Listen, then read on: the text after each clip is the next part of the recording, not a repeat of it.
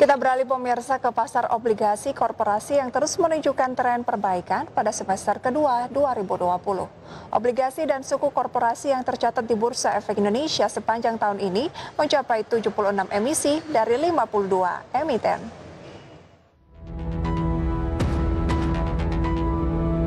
Pasar obligasi korporasi terus menunjukkan tren perbaikan pada semester 2 2020. Salah satu indikasinya adalah jumlah penerbitan yang terus meningkat belakangan ini. Merujuk data dari Bursa Efek Indonesia, selama September 2020, sudah terdapat 16 obligasi korporasi dan dua suku korporasi yang diterbitkan.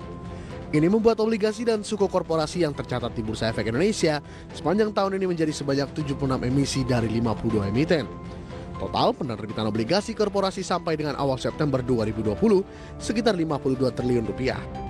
Di mana di dalamnya sebesar 44,4 triliun rupiah dalam bentuk obligasi korporasi, sementara sisanya sukuk medium term note dan EBA.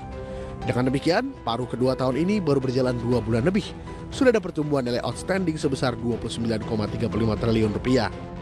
Selain itu emisi mulai meningkat seiring dengan pemulihan kegiatan ekonomi dibanding kuartal 2 2020 yang sangat melambat seiring dengan kebijakan pembatasan sosial berskala besar atau PSBB.